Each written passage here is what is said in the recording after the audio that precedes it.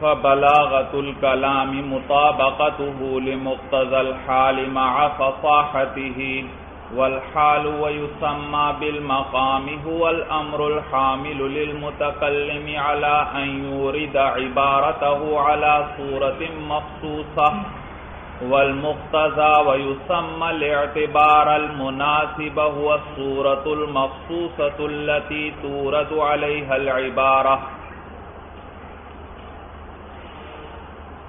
گزشتہ سبق میں آپ نے فصاحت متکلم کے بارے میں پڑھا تھا کہ متکلم فصیح اس کو کہتے ہیں جس کو ایسا ملکہ حاصل ہو کہ جس کے ذریعے وہ اپنے ہر مقصود کو کلام فصیح کے ساتھ ادا کر سکے چاہے جو بھی اس کی غرض ہو گئی جو بھی غرض ہو اس کو وہ کس کے ساتھ ادا کر سکے؟ کلام فصیح کے ساتھ۔ ہر غرض کو ادا کر سکی یہ نہیں کہ کوئی مخصوص کلام کی قسم تو وہ فصیح کلام طریقے سے ادا کر سکے، باقی نہ کر سکے، تو اس کو متکلی میں فصیح نہیں کہیں گے۔ مثلا جیسے شاعر ہے بھائی، وہ مخصوص قسم کے مثلا مدہ وغیرہ کے شعر تو اچھے اور فصیح طریقے سے کہہ سکتا ہے، لیکن باقی قسمیں ہیں اشعار کی؟ وہ ان میں وہ فصاحت نہیں ہے، تو اس کو شاعر فصیح نہیں کہیں گے۔ شاعر فصیح، بھائی۔ اس کے بعد ہم نے بلاغت کے بارے میں پڑھنا شروع کیا تھا، بھائی، کہ بلاغت جو ہے، وہ عربی زبان میں اس کا معنی پہنچنے کے ہے، پہنچنے کے۔ چنانچہ جب کوئی شخص اپنی مقصود تک پہنچ جائے تو عربی میں کہتے ہیں بلغا فلان مرادہ ہو وہ اپنی مراد کو پہنچ گیا۔ تو دیکھو بلغا کا لفظ لے کر آتا ہے۔ اور کس معنی کی ادائیگی کے لیے؟ پہنچنے کے معنی کے۔ اسی طرح عربی میں کہتے ہیں، جب قافلہ شہر پہنچ جائے تو کہتے ہیں بلغر رقب المدینہ معلوم ہوا بلاغا کس معنی کے لیے استعمال کیا؟ پہنچنے کے معنی. تو عربی زبان میں بلاغت کے معنی پہنچنے کے ہیں بھائی. اور اصطلاح کے اندر آپ نے پڑھا یہ کلام اور متکلم کی صفت بنتی ہے بلاغت بھائی. یعنی کلمہ کی صفت نہیں بنتی بلاغت. اور وجہ کیا؟ دلیل میں نے ذکر کر دی تھی. کیونکہ عربوں سے ہم نے نہیں سنا. عرب کلام کو بھی بلیغ کہہ دیتے ہیں، متکلم کو بھی بلیغ کہہ دیتے ہیں، لیکن کبھی ہم نے یہ نہیں سنا کہ عربوں نے کسی کلمے کو بلیغ کہا ہو بھائی۔ معلوم ہو یہ صرف کس کی صفت بنتی ہے؟ کلام اور متکلم کی۔ اور جب عربی زبان میں یہ صرف کلام اور متکلم کی صفت بنتی ہے، تو علم بلاغت کی اصطلاح کے اندر بھی یہ صرف کس کی صفت بنے گی؟ کلام اور متکلم ہی کی صفت بنے گی بھائی۔ جی اب آگے کتاب پر دیکھیے۔ فبلاغت الکلام مطابقت الحال مع فصاحته۔ اب بلاغت کی اصطلاحی تعریف کر رہے ہیں۔ ایک تو اس کا معنی تھا۔ عربی زبان میں بلاغت کا کیا معنی؟ پہنچنا۔ بلاغت کی اب اصطلاحی تعریف کے وہ کسے کہتے ہیں؟ تو اور سب سے پہلے بلاغت کلام کو بیان کر رہے ہیں بھائی۔ یہاں بھی اسی طرح اشکال ہوتا ہے کہ پہلے بلاغت کی اصطلاحی تعریف ہونی چاہیے تھی، پھر اس کی تقسیم ہونی چاہیے تھی، بلاغت کلام اور بلاغت متقد۔ لیکن ابتدا ہی بلاغت کلام کی تعریف شروع کر دی۔ معلوم ہوا اس کا بھی کوئی ایسا مشترک مفہوم نہیں جس کے اندر بلاغت کلام بھی داخل ہو جائے اور بلاغت متقد۔ تو کوئی ایک تعریف ہو ہی نہیں سکتی تھی۔ اس لیے براہ راست کیا کر دی؟ تقسیم۔ اور اس میں پھر بلاغت کلام کو مقدم کیا۔ کیوں مقدم کیا؟ یہاں بھی وہی جواب۔ کیونکہ متکلم بلیغ کی تعریف میں کلام بلیغ کا لفظ آئے گا۔ تو کلام بلیغ کا پہلے سے پتا ہوگا تو متکلم بلیغ کا پتا چلے گا۔ اسی لیے کیا کیا؟ بلاغت کلام کو مقدم کیا تاکہ یہ سمجھ جائیں۔ آگے آئے گا متکلم بلیغ کسے کہتے ہیں؟ اس کے اندر کیا آئے گا لفظ؟ کلام بلیغ۔ تو کلام بلیغ آپ نے پڑھا ہوگا، سمجھا ہوگا، تو وہ اب وہاں آپ کو سمجھ میں بات آئے گی، متکلم کی تعریف سمجھ میں آئے گی۔ اگر یہ مقدم نہ ہوا تو آپ کو وہ تاریخ ہی سمجھ میں نہیں آئے گی، اس لیے اس کو مقدم کیا۔ بھائی تفصیل پیچھے گزر چکی، بھائی اسی طرح یہاں بھی جواب ہے۔ اب بلاغت کلام کہتے کسے ہیں؟ کہتے ہیں بلاغت الکلامی، بلاغت کلام کا بلیغ ہونا جو ہے مطابقت مختص الحالی وہ ہاں، مطابقت کی حاضمی راج ہے کلام کو کلام کو۔ مطابقت اس کلام کا مطابق ہونا لمقتض الحالی مقتض حال کے۔ کلام کا مقتض حال کے مطابق ہونا مع فصاحتی مع فصاحت ہی اس میں بھی ہا ضمیر جو ہے، اسی کلام کو راجے ہے بھائی۔ مع فصاحت ہی اے مع کلامی اور یہ حال واقع ہو رہا ہے مطابقت کی ضمیر سے۔ اس حال میں کہ وہ کلام کیا ہو؟ فصیح ہو۔ مع فصاحت ہی اس کی فصاحت کے ساتھ۔ یعنی اس حال میں کہ وہ کلام کیا ہو؟ فصیح ہو بھائی فصیح ہو۔ آسان لفظوں میں یوں کہیے بھائی، آپ کا کلام فصیح بھی ہو اور موقع محل کے مطابق بھی ہو، اس کو کہیں گے بلاغت۔ کسے کہیں گے؟ کلام فصیح بھی ہو، یہ شرط ہے اس کے اندر کلام کا فصیح ہونا ضروری ہے، ورنہ بلاغت نہیں آئے گی۔ غیر فصیح کلام ہو تو بلاغت کی بات ہی نہیں آئے گی وہاں پر، یہ شرط ہے اس کے لیے۔ کلام کس قسم کا ہو؟ فصیح ہو۔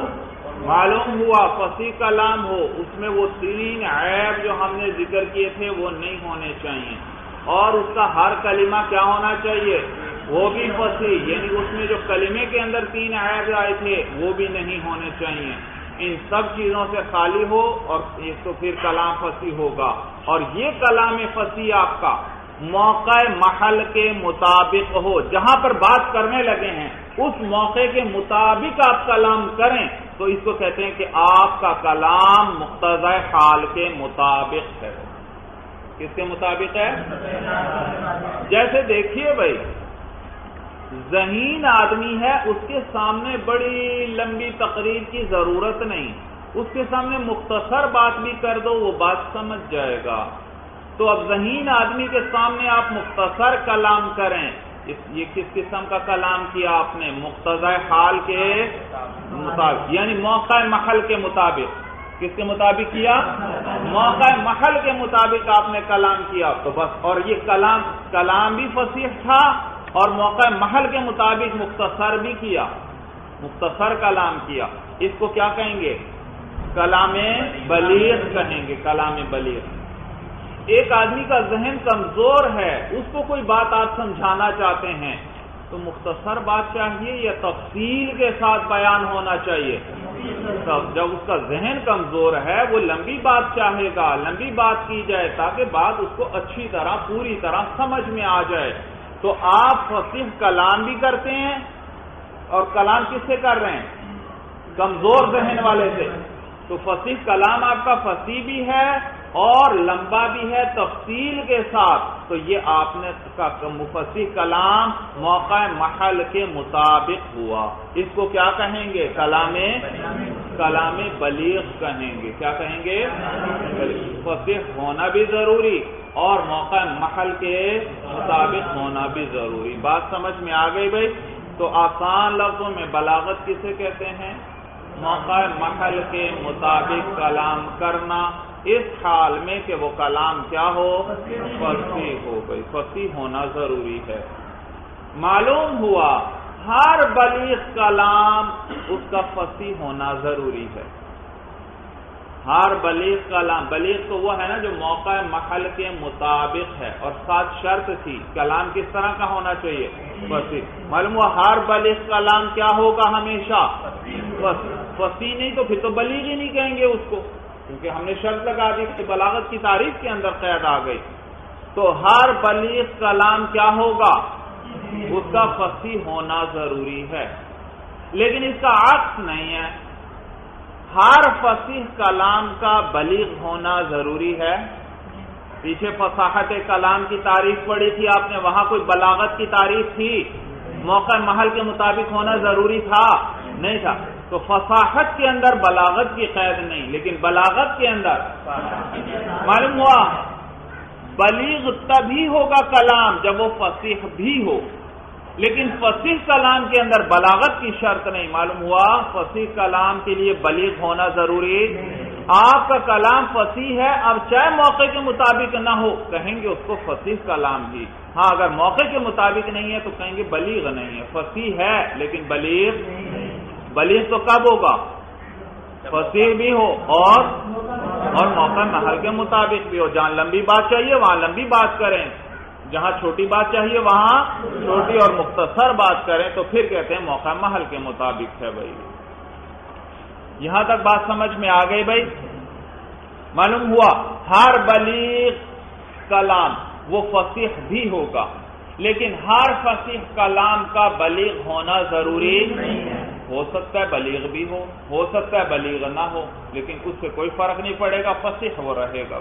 تو ہر بلیغ کلام فصیح ہے، لیکن ہر فصیح کلام کا بلیغ ہونا ضروری نہیں ہے بھائی۔ بھائی دیکھیے، میں آپ کو قیام زید کی خبر دینا چاہتا ہوں۔ بتلانا چاہتا ہوں کہ زید کھڑا ہے۔ اس کے اس خبر دینے کے مختلف طریقے ہیں، مختلف لفظوں کے ساتھ میں آپ کو یہ خبر دے سکتا ہوں۔ میں آپ سے کہہ سکتا ہوں زید قائم میں یہ بھی کہہ سکتا ہوں انا زیدن قائم میں یہ بھی کہہ سکتا ہوں انا زیدن لقائم میں یہ بھی کہہ سکتا ہوں، واللہ انا زیدن لقائم تو دیکھو کتنی صورتیں ہیں اسی کو ادا کرنے کی۔ اسی طرح میں کہہ سکتا ہوں، قام زید سورت سمجھ میں آ گئی بھائی؟ تو قیام زید کی خبر دینے کے مختلف طریقے ہیں۔ اسی طرح کوئی بھی آپ کسی سے بات کرنا چاہیں، اس بات کرنے کے مختلف طریقے ہیں۔ اس کے لیے مختلف الفاظ آپ استعمال کر سکتے ہیں۔ جیسے میں نے ابھی ذکر کر لیا ایک مثال دے دی۔ میں بات کیا بتلانا چاہتا تھا آپ کو؟ زید کے قیام کے کھڑے ہونے دیے تو ایک مثال ذکر کی، کوئی بھی بات آپ دنیا کی لے لیں، جب دوسرے سے کرنی ہے، اس میں مختلف لفظ آپ استعمال کر سکتے ہیں بھائی۔ تو یہاں پر میں قام زیدن بھی کہہ سکتا ہوں، زیدن قائمن بھی کہہ سکتا ہوں۔ ان زیدن قائمن بھی، ان زیدن لقائمن بھی، اور واللہ ان زیدن لقائمن۔ اب جس کو میں یہ بات سنانا چاہتا ہوں، جس کو میں، جس سے میں یہ بات کرنا چاہتا ہوں۔ وہ تین حال میں سے کوئی ایک حال اس کا ضرور ہوگا بھائی۔ تین احوال میں سے۔ یا تو اس بات کے بارے میں اس کا ذہن بالکل خالی ہوگا۔ اس بات کے بارے میں اس کا ذہن پہلے یہ بات اس کے ذہن میں نہیں تھی، اب آپ نے آ کر اس کو کہا زید القائم ایک یہ صورت کہ وہ اس کا ذہن خالی ہو۔ کس چیز سے؟ اس بات سے خالی ہو۔ دنیا کی ہر چیز سے خالی نہ ہو، بلکہ جو میں کلام کرنے لگا ہوں، اس بارے میں۔ اس، یہ بات اس کے ذہن میں پہلے سے تھی ہی نہیں۔ دوسری صورت یہ ہے، یہ بات تو تھی اس کے ذہن میں، لیکن اس کو شک تھا اس بارے میں۔ شک تھا کہ پتہ نہیں زید کھڑا ہے یا کھڑا نہیں۔ تیسری صورت یہ ہے، اس بات کا اس کو پتا ہے، لیکن وہ اس کو تسلیم ہی نہیں کر رہا، انکار کر رہا ہے بھائی۔ تو تین حالتوں میں سے ایک حالت ضرور ہوگی۔ یا اس کا ذہن اس بات کے بارے میں خالی ہوگا، یا اس بات کے بارے میں اس کے ذہن میں تردد ہوگا، شک ہوگا، یا اس بات کے بارے میں اس کے ذہن میں انکار ہوگا، وہ اسے تسلیم ہی نہیں کر رہا بھائی۔ تو مخاطب تین حال اس کے ان میں سے کوئی ایک ضرور ہوگا۔ یا وہ خالص ذہن ہوگا، یا وہ متردد ہوگا، یا وہ منکر ہوگا۔ کس چیز کا متردد ہے کس چیز میں؟ یا کس چیز کا منکر ہے؟ ہر چیز کا منکر نہیں، ہر چیز میں متردد نہیں۔ جو بات میں کہنے لگا اس میں اس میں اس کو یا تردد ہوگا، یا اس کا ذہن خالی ہوگا، یا اس بات کے بارے میں، اس کے ذہن میں انکار ہوگا۔ بھائی آپ کا ساتھی ہے ایک بات مان ہی نہیں رہا۔ تو آپ اس کے سامنے بڑے وہ بات مضبوط طریقے سے کرنا چاہتے ہیں، تو کیا طریقہ اختیار کرتے ہیں؟ جی قسم اٹھا کر آپ اس کو کہتے ہیں۔ آپ نے اس کو کہا تھا زید کھڑا ہے۔ وہ کہہ رہے ہیں، نہیں، یہ ہو ہی نہیں سکتا۔ مثلا یہ تو میں مثال دے رہا ہوں، کوئی اور بات، کوئی بھی ہو، کوئی خبر آپ نے اس کو آ کر دی۔ جو بھی خبر دیتے ہیں، اس کے ذہن میں انکار ہے، وہ تسلیم ہی نہیں کر رہا۔ تو جب تسلیم وہ بات کو نہ کر رہا ہو، پھر آپ کیا کرتے ہیں؟ قسم اٹھاتے ہیں اس کے سامنے۔ معلوم ہوا، آپ کلام کا ایک خاص انداز، لفظوں کا ایک خاص انداز اختیار کرتے ہیں۔ خبر ابھی بھی وہی دے رہے ہیں، صرف کس چیز کا اضافہ کر دیا؟ قسم کا، تاکہ بات زوردار ہو جائے، کیونکہ قسم کی وجہ سے بات میں بڑا زور آ جاتا ہے، مضبوط بات ہو جاتی ہے بھائی۔ آپ ایسا کرتے ہیں یا نہیں کرتے بھائی؟ آپ کو بھی معلوم ہوا، منکر کے سامنے کلام مضبوط کرنا ہے، ہلکا پھلکا کلام نہیں کرنا، وہ ہلکی پھلکی بات ہی کا تو انکار کر رہا ہے۔ اب اس کو قائل کرنا ہے تو قسم کھانا پڑے گی۔ تو معلوم ہوا، مخاطب جو ہے وہ یا تو خالی ذہن ہوگا یا متردد ہوگا یا منکر ہوگا۔ اگر مخاطب خالی ذہن ہے اور آپ اس کو قیام زید کی خبر دینا چاہتے ہیں، تو یاد رکھیے ایسا کلام لے کر آئیں جس میں تاکید نہ ہو۔ جس میں تاکید نہ ہو۔ کیونکہ تاکید کی یہاں ضرورت ہی نہیں ہے، اس کے ذہن میں تردد یا انکار ہے ہی نہیں۔ بغیر تاکید کے اس کے سامنے کلام لے کر آؤ اور کہو زید قائمن۔ کیا کہو؟ زید قائمن۔ اگر آپ اس کو آ کر کہتے ہیں، واللہ ان زید اللہ قائمن فوراً سے بھائی یہ قسم اٹھانے کی کیا ضرورت ہے؟ یہ انا تاکیدات لانے کی کیا ضرورت ہے؟ میں نے کب انکار کیا اس بات کا؟ آپ کبھی کسی کے سامنے قسم اٹھاتے ہیں وہ کہتا ہے یا نہیں کہتا؟ بھائی قسم اٹھانے کی کیا ضرورت تھی؟ میں نے کب اس بات سے انکار کیا ہے؟ معلوم ہو قسم ہر جگہ نہیں اٹھائی جاتی، موقع محل دیکھا جائے گا۔ تو لہذا اگر مخاطب کے ذہن میں وہ بات پہلے سے موجود نہیں، وہ خالی ذہن ہے، نہ اس کے ذہن میں تردد ہے، نہ انکار ہے تو یہ موقع محل ایسا ہے جہاں تاکید کو نہیں لانا چاہیے۔ اب آپ کو اس کو زید قائمن کے ساتھ کلام ذکر کرنا چاہیے یا قام زیدن کہنا چاہیے۔ اگر آپ ان زیدن قائمن کہتے ہیں تو آپ یہ انا زائد لے آئے۔ اس کی ضرورت تھی یہاں پر؟ تو کلام آپ کا موقع محل کے مطابق ہوا یا غیر مطابق ہوا؟ غیر مطابق. آپ کا کلام بلاغت سے خارج ہو گیا. بے شک فصیح کلمہ. زید کا لفظ بھی فصیح تھا. قائمون کا لفظ بھی فصیح تھا. لیکن فصیح تو ہے کلام آپ کا، لیکن بلیغ نہیں، موقع محل کے مطابق نہیں. ہر موقع موقع محل کے مطابق کلام کیا جائے تو پھر وہ بلیغ کہلائے گا. تو یہاں خالی ذہن کے سامنے تاکید کی ضرورت نہیں تھی اور آپ تاکید لے آئے۔ تو آپ کی تاکید تو ضائع گئی بھائی، تو یہ آپ کا کلام بلیغ نہیں۔ لہذا خالی ذہن کے سامنے میں کہتا ہوں، قام زیدن، بغیر تاکید کے ہے کلام۔ موقع محل کے مطابق ہے یا نہیں ہے بھائی؟ موقع محل کے مطابق ہے، تو یہ کلام بلیغ ہے۔ یا میں کہتا ہوں زید قائم یہ کلام بھی کیا ہے؟ موقع محل کے مطابق ہے، تو یہ کلام بلیغ ہے بھائی۔ متردد ہو، اگر دوسرے کو اس بارے میں شک ہو، یہ خبر اس کو پہنچی تو ہے۔ لیکن شک ہے، پتہ نہیں، یہ خبر سچی ہے، سچی نہیں ہے۔ تو اگر مخاطب متردد ہو، تو مستحسن ہے، پسندیدہ ہے، اس کے سامنے ایک تاکید لے آؤ۔ کیا کرو؟ پسندیدہ ہے، واجب نہیں ہے، لیکن پسندیدہ ہے کہ اس کے سامنے، چونکہ شک ہے، بات تو پہلے بھی پہنچ چکی ہے اس کو کہ زید کھڑا ہے، لیکن اس کو شک ہے۔ اب تھوڑا سا کلام میں زور تو لے کر آؤ تاکہ اس کا شک زائل ہو جائے۔ تو پسندیدہ کیا ہے؟ متردد کے سامنے ایک تاکید لے آؤ، تھوڑا سا تاکید والا کلام لے آؤ۔ تو لہذا آپ کے ذہن میں قیام زید کے بارے میں شک تھا۔ آپ کو کسی نے بتایا تو تھا لیکن آپ متردد ہیں کہ پتہ نہیں یہ خبر سچی ہے یا نہیں۔ اب میں آپ کے سامنے کس طرح کہوں گا؟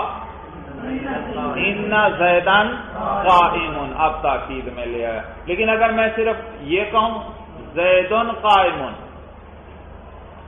تو یہ میں نے پسندیدہ کام نہیں کیا بھائی۔ پسندیدہ کام کیا تھا؟ پسندیدہ کلام کا طریقہ کیا تھا؟ کس کے سامنے تاکید ایک لے آؤ۔ متردد کے سامنے، تھوڑی سی کلام میں تاکید لے آؤ، تھوڑی سی۔ اور اگر منکر ہو، اس کے سامنے تاکید کا لانا واجب ہے، واجب۔ آپ کو قیام زید کی خبر دی ہے ایک ساتھی نے، لیکن آپ نہیں تسلیم کر رہے اس بات کو کہ نہیں، ایسا نہیں ہو سکتا۔ آپ انکار کر رہے ہیں۔ اب میں آپ کے سامنے کہوں، زید قائم۔ کوئی تاکید لایا میں کلام میں؟ کوئی تاکید نہیں لایا۔ لہذا میرا یہ کلام بالکل ردی اور بیکار ہے آپ کے سامنے۔ یہ کلام بلاغت سے خارج ہے۔ یہ کیونکہ اس میں تاکید نہیں۔ موقع محل تو کیسا تھا کہ کس طرح کا کلام لے کر آؤ؟ تاکہ یہ کلام بلاغت سے خارج ہوا۔ موقع محل کے مطابق ہوگا تو بلیغ ہے، ورنہ بلیغ نہیں ہے بھائی۔ لہذا اب آپ کے آپ کے ذہن میں انکار ہے تو مجھے کس طرح کا کلام کرنا چاہیے؟ تاکید والا کیوں کہنا چاہیے؟ ان زیدن قائم ان زیدن قائم کہنا چاہیے۔ یہ تو اس وقت میں کہوں گا، ان زیدن قائم جب آپ کے ذہن میں تھوڑا انکار ہے، جتنا انکار شدید بڑھتا ہو بڑھا ہوا ہو، اسی کے بقدر تاکیدات لانا یہ اس سے کلام کا رتبہ بڑھ کر کلام اپنی انتہا کو پہنچ جائے گا اگر پورے مطابقت آ گئی اس کی بڑی۔ پورے مطابقت آ گئی۔ اچھا یہ تو تھا، مثلا آپ کا انکار تھوڑا سا تھا، تھوڑا انکار تھا۔ تو میں کہوں گا، ان زیدن قائم اگر آپ کے ذہن میں انکار زیادہ تھا، انکار زیادہ تھا تو پھر میں تاکید بڑھا کر کہوں گا ان زیدن لقائم اب یہ اس پہلے کلام سے بھی زیادہ زور والا کلام ہوا۔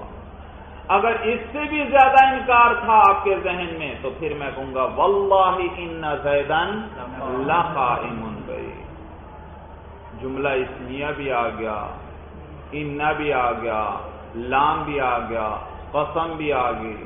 تو دیکھو، چار تاکیدات کے ساتھ کلام ہو گیا۔ چار تاکیدات کے ساتھ تو لہذا خالص ذہن کے سامنے کس قسم کا کلام کیا جائے گا؟ تاکید والا یا بغیر تاکید کے؟ متردد کے سامنے کس طرح کا کلام کیا جائے گا؟ مستحسن ہے کہ اس میں ایک تاکید ہو، تھوڑی سی تاکید ہو کلام کے اندر۔ اور منکر کے سامنے تاکید کا لانا واجب ہے۔ اور پھر جس درجے کا انکار ہو اسی درجے کی تاکید بھی ہونی چاہیے۔ تھوڑا انکار ہے، تھوڑی تاکید سے کام چل جائے گا۔ زیادہ انکار ہے تو زیادہ تاکید لانا پڑے گی بھائی، زیادہ تاکید لانا پڑے گی۔ اب دیکھیے کتاب پر بھائی۔ بلاغت الکلامی مطابقت کلام کا بلیغ ہونا۔ یہ کسے کہتے ہیں؟ مطابقت کلام کا مطابق ہونا۔ لمقتضل حال کس کے ساتھ؟ مقتض حال کے ساتھ۔ مع فصاحتی ہی اے مع فصاحت الکلام۔ ساتھ اس کلام کے فصیح ہونے کے۔ یعنی کہ کلام فصیح ہو اور وہ مطابق ہو مقتض حال کے۔ تو اس کلام کو کیا کہیں گے؟ کلام بلی، کلام بلیغ کہیں گے۔ تو یہاں لفظ آیا مقتض حال مقتض حال۔ آسان لفظوں میں میں نے کیا کہا تھا؟ موقع محل کے مطابق کلام کرنا، تو یہ کیا ہے؟ بلاغت ہے۔ اب اس مقتض حال کو اچھی طرح سمجھ لیں بھائی۔ بھائی دیکھیے، میرے سامنے جو مخاطب ہے، یہاں بلکہ ایک دو لفظ سمجھ لیں۔ ایک ہوتا ہے مخاطب، ایک ہے مخاطب۔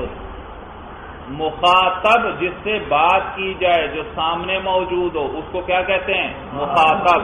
اور مخاطب اس میں فائل کا جو سیگا ہے، یاد رکھیے، یہ ہے، اس کا معنی ہے خطاب کرنے والا، اس کا یعنی وہ متکلم. تو متکلم اور مخاطب کا ایک معنی ہے۔ جیسے اس وقت میں آپ سے بات کر رہا ہوں، تو میں ہوا متکلم، یا دوسرے لفظوں میں کیا ہوں؟ مخاطب ہوں۔ اور آپ لوگ ہیں مخاطب بھائی۔ آپ لوگ کیا ہیں؟ مخاطب۔ اور یہ جو کلام میں آپ کی طرف متوجہ ہو کر کر رہا ہوں، اس کو کہتے ہیں خطاب۔ کیا کہتے ہیں؟ خطاب کہتے ہیں۔ وہ کلام جو غیر کی طرف متوجہ ہو کر کیا جائے، اس کو خطاب کہا جاتا ہے بھائی۔ کیا کہتے ہیں؟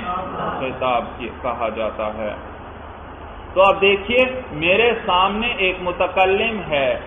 وہ یا تو وہ خالص ذہن ہوگا جو بعد میں کرنا چاہتا ہوں، اس کے بارے میں وہ خالص ذہن ہوگا، یا متردد ہوگا، یا منکر ہوگا۔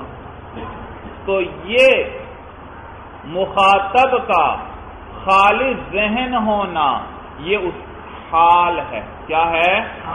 حال ہے۔ اس وقت اور یہ حال تقاضا کرتا ہے کس قسم کا کلام یہاں ہونا چاہیے؟ بغیر تاکید کے۔ مخاطب میرے سامنے بیٹھا جو ہے، مثلا وہ متردد ہے اس بات کے بارے میں، تو یہ تردد اس کا حال ہے۔ تردد کیا ہے؟ یہ حال کیا تقاضا کرتا ہے؟ کس طرح کا کلام یہاں ہونا چاہیے؟ ایک تاکید کا لانا پسندیدہ ہے۔ اور اگر مخاطب منکر ہے، یہ کس قسم کے کلام کا تقاضا کرتا ہے؟ کہ تاکید کا لانا واجب ہے، بھائی ایسا کلام لے کر آؤ۔ تو یہ جو مخاطب کے احوال ہیں، یا یوں کہ موقع محل جو ہے، موقع محل، اس کو کہتے ہیں حال کیا کہتے ہیں؟ حال کہتے ہیں۔ اور اسی کا دوسرا نام آگے آپ کو بتائیں گے، مقام بھی ہے۔ حال کا دوسرا نام کیا ہے؟ مقام بھی ہے۔ تو یہ متردد ہونا مخاطب کا، یہ ایک حال ہے، یہ یوں کہ ایک مقام ہے۔ مقام ہے۔ مخاطب کا منکر ہونا یہ حال ہے، متردد اور منکر ہونا حال ہے۔ اور یہ حال تقاضا کرتا ہے کہ فلاں قسم کا کلام لے کر آؤ۔ یہ حال کیا کرتا ہے؟ تقاضا کا یہ حال کہہ لیں یا مقام کہہ لیں دونوں لفظ اس کے لیے استعمال ہوتے ہیں۔ یہ حال تقاضا کرے گا کہ اس طرح کا کلام لانا ہے۔ تو حال ہوگا مقتضی تقاضا کرنے والا۔ کون تقاضا کرے گا؟ حال یا مقام۔ جس قسم کا موقع محل ہے وہ تقاضا کرے گا کہ اس طرح کا کلام یہاں ہونا چاہیے۔ تو وہ حال یا مقام کیا ہوگا؟ مقتضی۔ تقاضا کرنے والا۔ اور کس چیز کا تقاضا کرے گا؟ خاص قسم کے کلام کا کہ تاکید مسا ہونی چاہیے یا تاکید نہیں ہو۔ تو جس چیز کا وہ تقاضا کر رہا ہے جس قسم کے کلام کا وہ ہوا مقتضا۔ مقتضا حال مقتضا مقام بھائی۔ اس کو کیا کہتے ہیں؟ تو مقتضی کون؟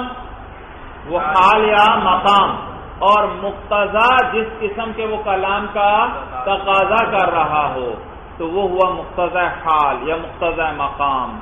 تو مثلا مخاطب ہے منکر، اس کا حال کیا ہوا؟ منکر ہونا۔ اس حال نے کس چیز کا تقاضا کیا؟ کس قسم کا کلام لاؤ؟ جس میں تاکید ہو۔ تو مقتض حال ہوا تاکید والا کلام۔ اور میں نے بھی اس موقع پر تاکید استعمال کی اور کہا، ان زیدن قائم تو میرا کلام مقتض حال کے مطابق ہے بھائی۔ جیسا حال تقاضا کر رہا تھا، میں ویسا ہی کلام لے کر آیا۔ تو یہ کیا ہوا؟ میرا کلام مقتض حال کے مطابق ہوا بھائی۔ اس کو کہتے ہیں بلاغت بھائی۔ جیسا حال تقاضا کر رہا ہو اسی کے مطابق کلام ہو۔ تو حال ہوتا ہے مقتضی، تقاضا کرنے والا۔ اور جس قسم کے کلام کا تقاضا کرے، وہ کیا ہے؟ مقتض حال۔ کہ مثلا تاکید لاؤ یا تاکید نہ لاؤ۔ اور کلام اس کے مطابق ہو، تو اس کو کیا کہیں گے؟ بلاغت کہیں گے۔ بات سب کو اچھی طرح سمجھ میں آ گئی بھائی؟ تو کہتے ہیں بلاغت الکلام مطابقت مقتض الحال مع فصاحته تو بلاغت فی الکلام جو ہے وہ اس کلام کا مطابق ہونا ہے مقتض حال کے ساتھ اس کلام کے فصیح ہونے کے۔ والحال ویسمى بالمقام۔ اب حال اور مقام کے بارے میں بتلا رہے ہیں۔ میں نے کیا کہا تھا؟ حال یا مقام کا ایک معنی ہے۔ حال کہتے ہیں زمانے کے اعتبار سے اور مقام کہتے ہیں محل کے اعتبار سے، جگہ کے اعتبار سے۔ جب بھی میرے سامنے ایک مخاطب ہے، میں اس سے بات کرنے لگا ہوں، تو ایک زمانہ، یہ زمانہ کیا تقاضا مجھ سے کر رہا ہے کہ اگر منکر ہے میرے سامنے، میں اس سے کلام کرنے لگا ہوں، تو یہ زمانہ کیا تقاضا کر رہا ہے؟ کس قسم کا کلام ہونا چاہیے؟ تاکید والا۔ تو یہ اس زمانے کے اعتبار سے اسی کو حال کہیں گے۔ اس کا منکر ہونا کیا ہے؟ حال۔ اور محل اور جگہ کے اعتبار سے یہ مقام کس قسم کا، یہ جگہ کس قسم کی ہے؟ مجھے کس طرح کا کلام کرنا چاہیے؟ تاکید والا۔ تو زمانے کے اعتبار سے اسی حال کو کیا کہتے ہیں؟ زمانے کے اعتبار سے وہ اسے حال کہیں گے اور محل کے اعتبار سے اس کو مقام کہیں گے، تو دونوں کا معنی ایک ہے بھائی تو کہتے ہیں، والحال ویسما بالمقامی اور حال، اور اس کو موسوم کیا جاتا ہے مقام کے ساتھ یعنی اس کو مقام بھی کہتے ہیں، اور حال اور اس کو مقام بھی کہتے ہیں۔ وہ کسے کہتے ہیں؟ آگے تعریف کر رہے ہیں۔ الامر الحامل للمتکلمی وہ چیز ہے الحامل۔ حامل کا معنی ابھارنے والا ابھارنے والا۔ وہ چیز ہے جو ابھارنے والی ہے متکلم کو اعلی یوریدا عبارت ہو اور ادا یوریدو کے معنی ہوتے ہیں لانے کے۔ کس بات پر ابھار رہی ہے؟ وہ چیز جو متکلم کو ابھارتی ہے اس بات پر کہ ایوریدا عبارت ہو کہ وہ لے کر آئے اپنی عبارت اعلی صورت مخصوص کس؟ ایک ایک مخصوص صورت پر۔ اس، یہ ہے حال بھائی۔ یہ کیا ہے؟ بھائی دیکھیے، مخاطب میرے سامنے منکر تھا۔ تو اس مخاطب کا منکر ہونا یہ حال اور مقام ہے۔ یہ کیا ہے؟ اس حال اور اس مقام نے مجھ سے تقاضا کیا اور مجھے ابھارا کہ ایک مخصوص صورت پر اپنی عبارت لے کر آنا۔ کس صورت پر لے کر آنا؟ تاکید کے ساتھ لے کر آنا اپنی عبارت پر یہ مجھے کس نے ابھارا؟ کس چیز نے اس بات پر تیار کیا کہ مجھے تاکید یہاں لانی چاہیے؟ اس کے منکر ہونے نے۔ تو یہ منکر ہونا حال اور مقام تھا۔ اس نے مجھے ابھارا کہ کس طرح کا کلام کرنا؟ تاکید والا کرنا، بغیر تاکید والا نہیں کرنا، ورنہ بیکار ہے، ردی ہے بھائی۔ تو یہ جو اس کا منکر ہونا، یہ ہے حال اور مقام۔ یہ تقاضا کرتا ہے۔ حال اور مقام ہے مقتضی اور مخصوص صورت جس کا وہ تقاضا کرتا ہے وہ ہے مقتض حال یا مقتض مقام بھائی۔ بات سمجھ میں آئی بھائی؟ تو کہتے ہیں والحال ویسمى بالمقام اور حال اور اس کو مقام کہتے ہیں۔ هو الامر الحامل للمتکلم، وہ چیز جو ابھارنے والی ہے متکلم کو۔ على ان يورد عبارته، اس بات پر کہ وہ لے کر آئے اپنی عبارت۔ على صورت مخصوص ایک مخصوص صورت پر۔ جی یہ ہے حال اور مقام بھائی۔ جو مخصوص صورت کا تقاضا کرتا ہے کہ اس طرح کا کلام لے کر آنا۔ میرے سامنے مخاطب خالص ذہن ہے۔ یہ حال اور مقام ہے بھائی۔ یہ کیا تقاضا کرتا ہے خالص ذہن ہونا؟ کہ میں اپنے کلام کو ایک مخصوص صورت پر لے کر آؤں، کس صورت پر؟ تاکید ہونی چاہیے یا نہیں ہونی چاہیے؟ تاکید نہیں ہونی چاہیے کیونکہ خالص ذہن ہے بھائی۔ ول جی وہی اعتبار المناسبہ اور مقتضا یعنی مقتضا حال، اور اس کو اعتبار مناسب بھی کہتے ہیں۔ حال کا دوسرا نام کیا تھا؟ مقام، اور مقتضا کا دوسرا نام کیا ہے؟ اعتبار مناسب۔ کہتے ہیں ہوا سورت المخصوص التی سورت علیہ العبارہ وہ مخصوص صورت ہے جس پر لائی جاتی ہے عبارت۔ وہ سورت المخصوص وہ مخصوص صورت ہے اللہ تورد علیہ کہ جی لائی جاتی ہے اس اس پر العبارت، اس مخصوص صورت پر عبارت۔ وہ مخصوص صورت جس پر عبارت لائی جائے، اس کو کہتے ہیں مقتضا۔ اس کو کیا کہتے ہیں؟ میرے سامنے مثلا کون تھا؟ منکر۔ تو اس کا منکر ہونا یہ کیا ہے؟ حال۔ اور مقام۔ اور یہ ہے مقتضی تقاضا کرتا ہے مجھ سے۔ کیا تقاضا کرتا ہے؟ میں کس طرح کا کلام لاؤں اس منکر کے سامنے؟ تاکید ایک مخصوص صورت پر کلام کو لے کر آؤں یعنی تاکید والا کلام لے کر آؤں۔ اور اگر مخاطب میرے سامنے خالص ذہن ہے اس کا خالص ذہن ہونا یہ ہے حال۔ یہ کیا تقاضا کرتا ہے؟ بغیر تھا، تو اس نے ایک مخصوص صورت کے کلام کا تقاضا کیا۔ مخصوص صورت پر اپنا کلام لانا، وہ مخصوص صورت، وہ کیا ہے؟ مقتضا۔ اور دوسرا نام کیا ہے؟ اعتبار مناسب۔ بھائی، صورت سمجھ میں آ گئے؟ تو حال اور مقام ہوئے مقتضی، تقاضا کر رہے ہیں۔ بھائی یہ کتاب والے مشکل لفظ استعمال انہوں نے کیے، بات آپ کو سمجھ میں آ گئی یا نہیں آ گئی؟ موقع محل کے مطابق بات کرنا یہ کیا چیز ہے؟ یہ بلاغت ہے۔ وہ جو موقع محل ہے، وہ ہے حال۔ اور جس قسم کے کلام کا اس نے تقاضا کیا، وہ کیا ہے؟ مقتض حال۔ یعنی وہ تقاضا کرے گا، اپنے کلام میں تاکید لانی ہے یا تاکید نہیں لانی؟ وہ ہے تاکید کا لانا یا نہ لانا، جس کا اس نے تقاضا کی جو جس چیز کا بھی وہ تقاضا کرے، وہ ہے مقتض حال۔ مقتض حال۔ سورت سمجھ میں آ گئی بھائی؟ یہ مانا ہوا سورت المخصوص التی سورت علیہ العبارت اور مقتضا اور اس کو اعتبار مناسب کہتے ہیں، وہ مخصوص صورت ہے جس پر لائی، جس پر لائی جاتی ہے عبارت۔ مثلا مثال کے طور پر المد حال۔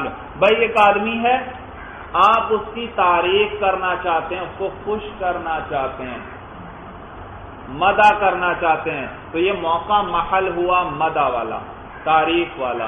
اور تعریف کے جب کرنے لگیں اور اس کو خوش کرنا چاہتے ہیں، تو کیا کرنا چاہیے؟ ایک چھوٹا سا جملہ کہہ دینا چاہیے یا آرام سے، تسلی سے اس کے تعریف ہونی چاہیے بھائی۔ اور تسلی سے کئی لفظوں کے ساتھ ذرا لمبا کلام ہو بھائی، بڑی مختصر سے تو پتہ بھی نہیں چلے گا، گزر جائے گی۔ اور آپ کا مقصد کیا مدہ کر کے۔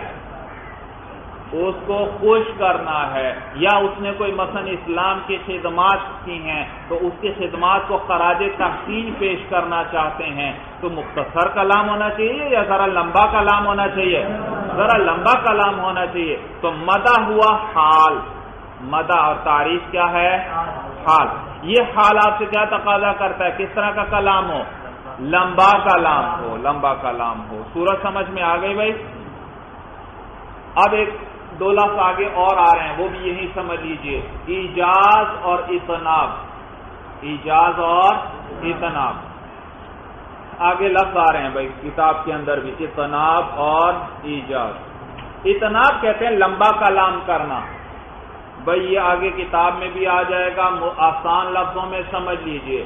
تین لفظ ہیں بلکہ یہاں پر۔ ایجاز اتناب مساوات۔ ایجاز اتناب مساوات ایجاز کا معنی ہوتا ہے مختصر کلام ہو اور معنی زیادہ ہو۔ کلام مختصر ہو، لفظ تھوڑے ہوں، معنی زیادہ ہو، اس کو کیا کہیں گے؟ ایجاز اور اگر لفظ اور معنی برابر ہوں تو اس کو کہتے ہیں مساوات۔ مساوات کا معنی برابری بھائی، مساوات۔ اور اتناب جس میں لفظ زیادہ ہوں اور معنی تھوڑا ہو اس کو کیا کہتے ہیں؟ اتناب کہتے ہیں، اتنا۔ ایجاز جس میں لفظ تھوڑے ہوں، معنی زیادہ ہو۔ اور مساوات جس میں لفظ اور معنی برابر ہو۔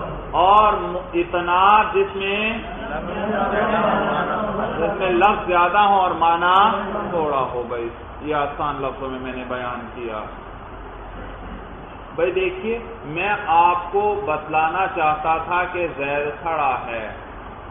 زید کھڑا ہے۔ اور یہ آپ خالی ذہن ہیں۔ مجھے کیا کہنا چاہیے آپ کے سامنے؟ قام زیدن۔ یا مجھے کیا کہنا چاہیے؟ زیدن قائم۔ بغیر تاکید کے کلام کرنا چاہیے۔ اور یہ قیام زید کی خبر جب میں نے دی زید قائم، کتنے لفظوں سے بات پوری ہو گئی؟ دو لفظوں سے۔ معلوم ہوا یہ بات جو میں آپ کو کہنا چاہتا ہوں، دو لفظوں سے پوری ہو سکتی ہے۔ لیکن میں آگے ایک دو لفظ اور بڑھا دیتا ہوں اس کے اندر۔ تو بات دو لفظوں سے پوری ہو سکتی تھی۔ میں نے تین یا چار استعمال کر لیے۔ اس کو کیا کہیں گے؟ اتناب کہیں گے اتناب مثلا میں زید القائم کے بجائے کہتا ہوں زید العالم قائم زید العالم قائم وہ زید جو عالم ہے، وہ کھڑا ہے۔ تو میں نے لفظ بڑھا دیے یا نہیں بڑھائے بھائی؟ بڑھا دیے بھائی۔ تو یہ ہے اتناب یہ کیا ہے؟ اور یاد رکھیے، ایک ہے اتناب آگے آئے گی بات۔ ایک ہے تطویل۔ طویل کا معنی لمبا لمبی چیز ہو، اس کو کیا کہتے ہیں؟ طویل۔ اسی کے شروع میں تا دو نقطوں والی ملائیں۔ تطویل، تفعیل مستر بھائی۔ تطویل کا معنی بات کو لمبا کرنا۔ بات کو تو اتناب میں بھی بات لمبی ہوتی ہے، تطویل میں بھی بات لمبی ہوتی ہے، لیکن اتناب کے اندر جو لفظ آپ زائد لے کر آئے ہیں، ان کا کوئی فائدہ ہوتا ہے، وہ بیکار نہیں ہوتے۔ اور تطویل میں وہ لفظ بیکار ہوگا، ردی ہوگا بھائی۔ جو لفظ بڑھایا، اس کا کوئی اور فائدہ ہے ہی نہیں۔ وہ کیا کہلائے گی؟ تصویر اور جو لفظ بڑھائے اگر ان کا فائدہ ہے، اس کو کیا کہیں گے؟ اتنا میں نے آپ سے کہا زید العالم قائم. کہنا کیا چاہیے تھا مجھے؟ زید قائم. میں نے ایک لفظ بڑھا دیا، العالم کا. لیکن اس لفظ کا فائدہ ہے یا یہ بیکار لفظ ہے؟ فائدہ ہے. اس سے آپ کو اتنا بھی پتا چل گیا کہ وہ زید جس کی میں بات کر رہا ہوں، وہ عالم ہے، غیر عالم نہیں ہے بھائی. تو فائدہ ہوا، دیکھا. تو اگر لفظ کا فائدہ ہو جس کو بڑھایا ہے، اس کو کیا کہتے ہیں؟ اتنا اور اگر بے فائدہ ہو اس کو کیا کہتے ہیں؟ تصویر لہذا مدا کے مقام پر کیا ہونا چاہیے؟ کلام مختصر ہونا چاہیے یا لمبا ہونا چاہیے؟ لمبا ہونا چاہیے۔ تو مدا ہے ایک حال اور یہ تقاضا کرتا ہے اتناب کا یا ایجاز کا۔ اتناب کا۔ مدا کس چیز کا تقاضا کرتی ہے؟ اتنا۔ ایک آدمی میرے سامنے ذہین ہے۔ یہ ذہین ہونا حال ہے۔ تو یہ حال کیا تقاضا کرتا ہے؟ کلام میں ایجاز ہونا چاہیے یا اتناب ہونا چاہیے؟ ذہین آدمی ہے میرے سامنے۔ میں اس سے کلام کرنا چاہتا ہوں۔ تو یہ موقع محل اور یہ حال کیا تقاضا کرتا ہے؟ ایجاز کا تقاضا کرتا ہے۔ تو دیکھو، یہاں مختص حال ایجاز ہے۔ مختص حال ایجاز ہے۔ دیکھیے اب کتاب پر، مثلا مثال کے طور پر، المدح حال یدعو العبارت على صورت الاتناب بھائی، حال کیا کرتا تھا؟ تقاضا کرتا ہے نا؟ جی تقاضا کرتا ہے کہ اس طرح کا کلام لانا۔ تو اسی تقاضے کو یہ دعوت دینے کے لفظ سے اب ذکر کریں گے۔ مثال کے طور پر، المدح حال يدعو لإراد العبارت على صورت الاتناب مدا ایسا حال ہے، حال نکرہ آیا، اس کے بعد یدعو فیل آیا۔ مدا ایسا حال ہے، یدعو جو دعوت دیتا ہے یعنی ابھارتا ہے، تیار کرتا ہے۔ جو دعوت دیتا ہے لئیراد العبارتی کس چیز کی دعوت دیتا ہے؟ اورد یورید اراد کا کیا مانا لانا۔ لئیراد العبارتی علی صورت الاتناب اتناب کی صورت میں عبارت کے لانے کی۔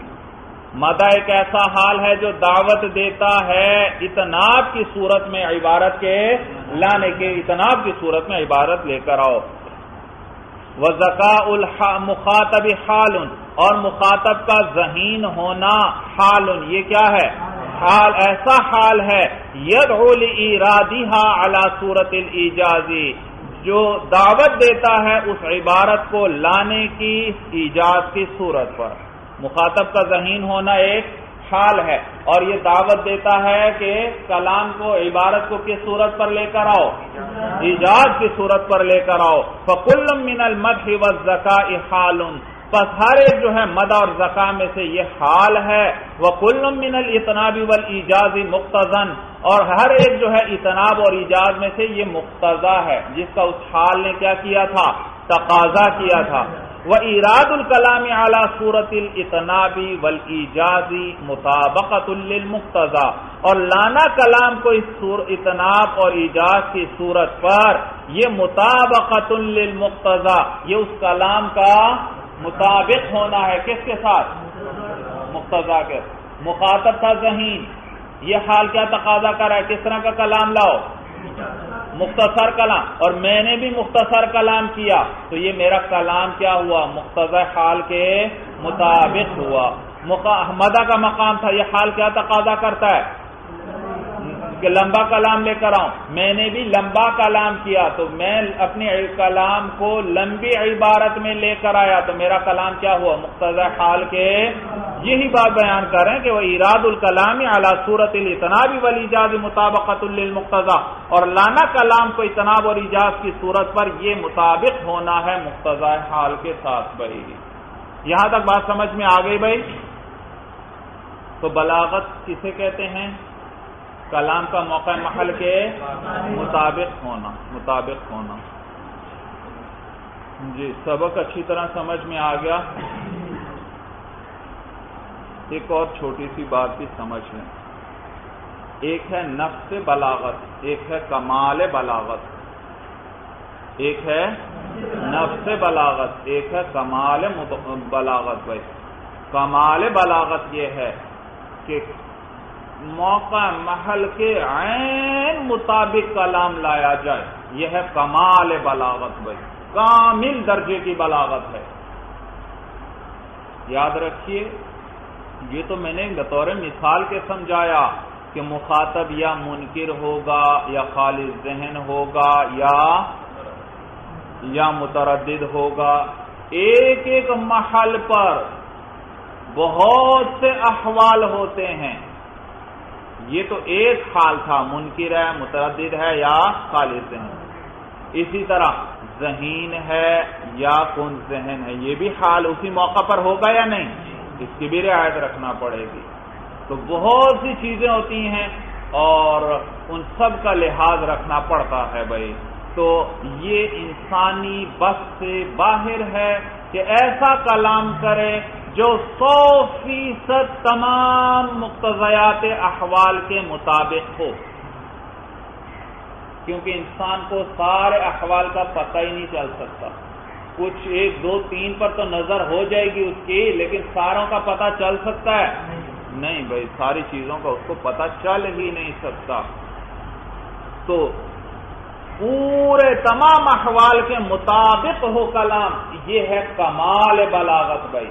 اور ایک ہے نفس بلاغت، نفس سے مطابقت آ جائے، چاہے تھوڑی ہو لیکن مطابقت آ جائے بھائی۔ لہذا ایک آدمی ہے، اس کے ذہن میں سخت انکار ہے۔ کیا ہے؟ تو مجھے اس کے سامنے کلام کس طرح کا کرنا چاہیے؟ خوب تاکید والا کلام بھائی، خوب، کیونکہ انکار بڑا سخت ہے۔ لہذا اس کے سامنے میں کہتا ہوں، ان زیدن قائم میں ایک ہی تاکید لایا۔ تو یہ اس کے انکار کے مطابق ہے؟ نہیں۔ انکار تو بڑا سخت ہے۔ لیکن نفس مطابقت آ گئی یا نہیں آ گئی؟ تاکید تو آ گئی بہرحال کلام تو نفس مطابقت تو آئی، کمال مطابقت۔ لیکن اگر میں ایک تاکید اور بڑھا دوں ان زیدن لقائمن اب مطابقت بڑھ گئی۔ مثلا چاہیے تین تاکیدات تھی میں پہلے صرف ایک لایا تھا۔ تو نفس مطابقت تو آئی تھی، پوری مطابقت نہیں تھی۔ پھر میں دو لے آیا، اب مطابقت بڑھ گئی۔ پھر میں تین لے آیا، واللہ ان زیدن لقائم اب کیا ہوگا؟ پورے مطابقت آ گئی بھائی، کلام۔ کامل درجے کی اس میں بلاغت آ گئی۔ چلیے، بس اللہ عالم بھی حقیقت الکلام، باقی کل کریں گے۔